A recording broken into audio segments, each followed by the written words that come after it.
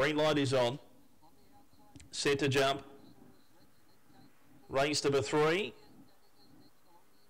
Racing, Black Ari away okay. Mix Kimmy missed it by four lengths. Away fast Yano Bale, Carts Little Mug over, they share the lead.